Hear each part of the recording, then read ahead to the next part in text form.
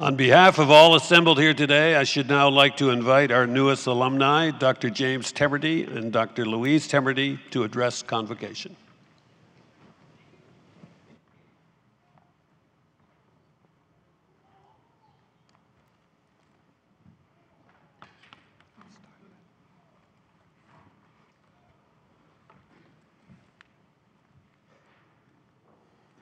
Need glasses.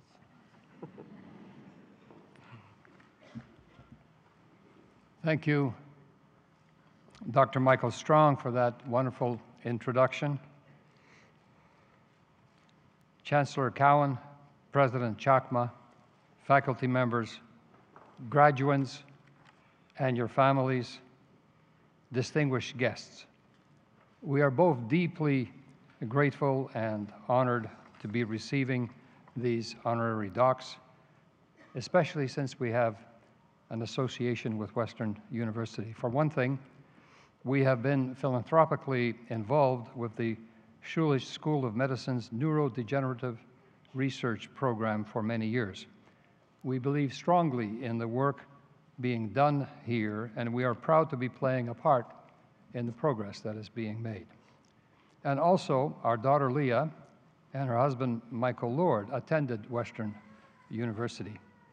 And I might add, uh, since our dear friend uh, Frank Hasenfratz and uh, Monica Spey are sitting in front of us, uh, their, their daughter Linda Hasenfratz graduated from Ivey with an MBA. And do you have any grandkids uh, here? uh, here? Four? Fantastic. So there's, there's, there's another reason for us to be delighted to be receiving these honorary docs uh, today. Okay. We are standing here in front of a wide range of graduates across different faculties. What you all have in common is that you have chosen a specialty that matters to you. You have worked hard toward academic achievement that reflects both your values and passion. As two people who are deeply committed to our own value, we respect the path you've taken and are honored to be here speaking to you today. Louise and I have uh, chosen four things to focus on, drawn from our own experiences in life and um, in our careers. One of them is uh, value of compromise. The other is a role of intuition. We want to speak about the importance of uh, perseverance and the nature of opportunity. I will start by talking today about the importance of compromise. If you search the word compromise, you will find many interpretations along the line of never give in. It's more like give and take. He gives, I take. but, but that's not what we mean by compromise. Compromise is listening to each other Compromise has been a theme throughout our 50 years together. One time, Jim wanted a boat, and I get very seasick on a boat. Finally, he got his boat, and he knew I was very nervous about it. Let's compromise, he said. You named the boat. So I said, No problem, we'll call it for sale.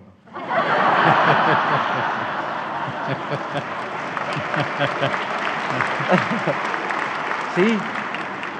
Compromise is understanding the other person's point of view, not necessarily agreeing, but recognizing his value and reaching for a win win. Now, about intuition. So, you can imagine that after leaving the uh, comfortable and exciting career of um, working for IBM for 15 years, not everyone thought it was a great idea. I received all kinds of advice, both before and um, after I decided on entrepreneurial path. My father said, don't do it. Even my dentist, while he had me trapped in, in the dentist chair, said I was, uh, I, was, I was mad. Um, and I was getting so much advice, it came to a point where I developed a kind of a, a motto. Um, and, and the motto became seek everyone's counsel, but follow your own. In other words, trust your intuition. Tim Cook, the chief executive officer of um, Apple, likes to say, trust your intuition, but work like hell to make sure that it happens. Exactly. But first, you have to inform your intuition, which I call seeking everyone's counsel. And that involves the very hard work of talking to people, reading books, periodicals, reports, Googling at length, and uh, networking. Sometimes you will get advice on a particular course of action that may resonate with you, but be very careful before taking that advice. Chances are those giving that advice don't have the same commitment that you do and may not be seeing the entire picture. What are you going to do in the middle of the uh, process? Um, run back and say, What do I do now? So you have to make it your own. Let me tell you about a couple of inst instances where I didn't follow advice. I sought counsel, but followed my own intuition. Before launching Northland Power, I um, asked a trusted consultant named Tony Anderson to review my business plan. Tony came back to me and advised that I not start Northland Power. I listened, but I chose instead to start the company. And one year later, I hired Tony Anderson. He became my chief financial officer and stayed with us for 25 years before retiring. And today, Northland Power is a public company with a total enterprise value exceeding well over $10 billion. The early years of Northland uh, Power were fraught with various challenges. I recall meeting with a senior bank executive who was very irate. We were reviewing my uh, financial position in one of the plants that we were building, and we were, quite frankly, in a very serious jam. He wasn't amused, and he gave me the following advice. He said, If I were you, I would jump out that window. My intuition was to stay put. so read the books, do the research, lay the groundwork, seek counsel. In other words, inform your intuition before you act on it so that you can be confident in your course of action. Because when you believe in yourself and come to trust your intuition, you are more likely to stand up and seize the moment and to persevere long after others might have given up. And this is where the importance of perseverance comes in. Winston Churchill once said, If you're going through hell, keep going. Inevitably, you will be challenged with your own versions of going through hell. And to survive it, you will need to persevere. Perseverance has served Airbnb uh, very well. Two years into their business, they had revenues of just a couple of hundred dollars a week. Perseverance is the guiding principle of Apple.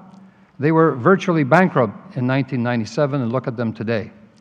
It took James Dyson five years and over 5,000 failed prototypes to develop the world's first bagless vacuum cleaner. Ten years later, he set up his own manufacturing facility because nobody else would manufacture the product.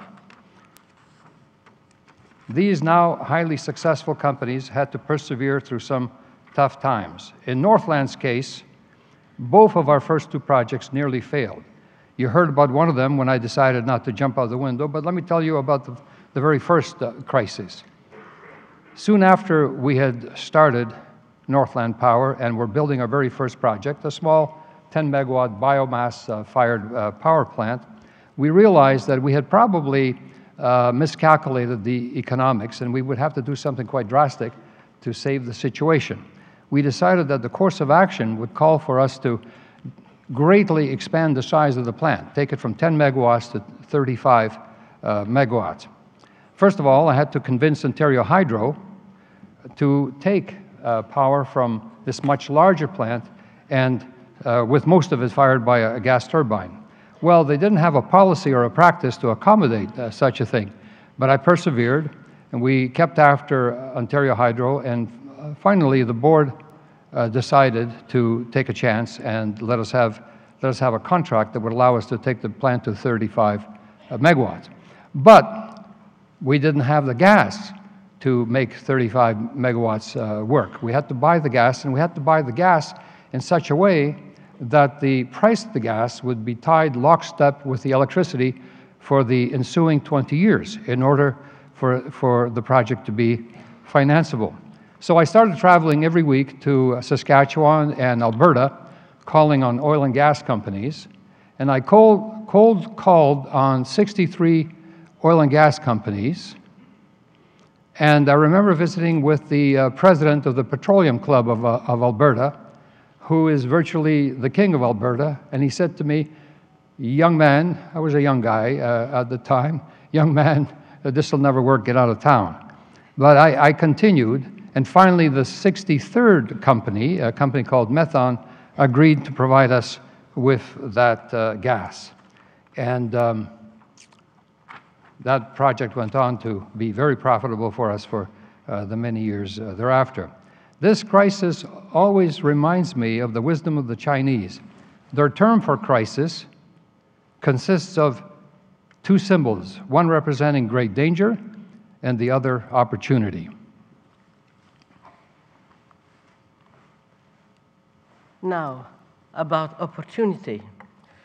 Opportunity is something that does not just happen like some random luck break. You have to work for it, you have to prepare for it.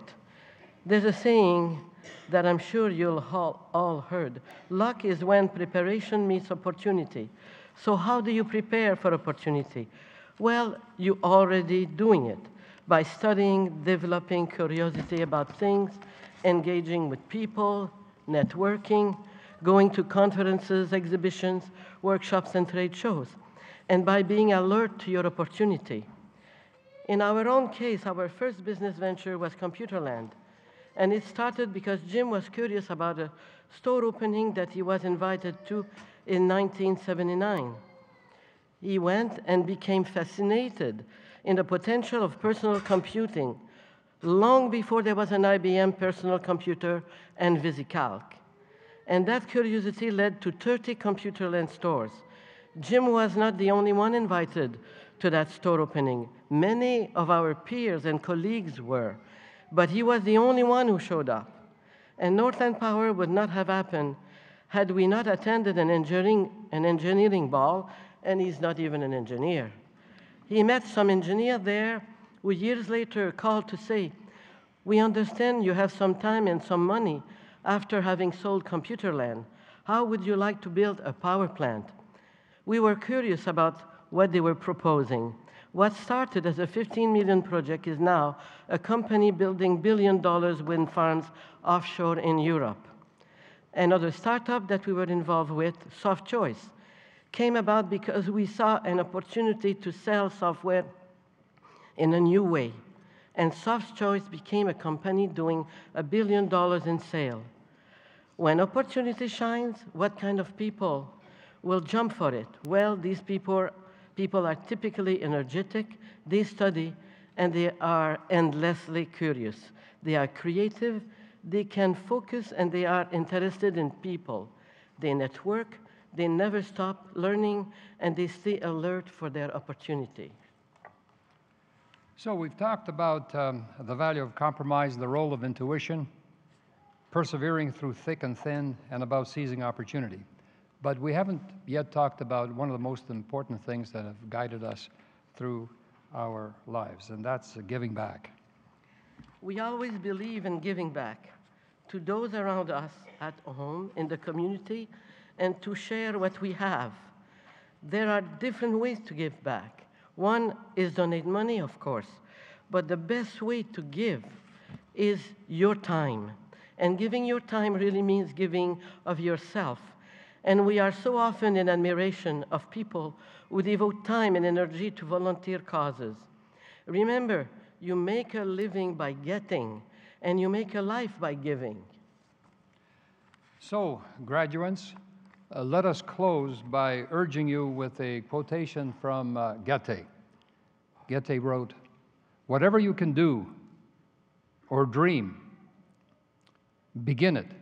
Boldness has genius, power, and magic in it. So, graduates, a hearty congratulations for what you have accomplished. And I, Louise and I, wish you great success in your careers and your life as you put into practice the lessons of the last years and continue the process of building an even greater Canada. Be bold, dream, begin. Thank you. Thank you.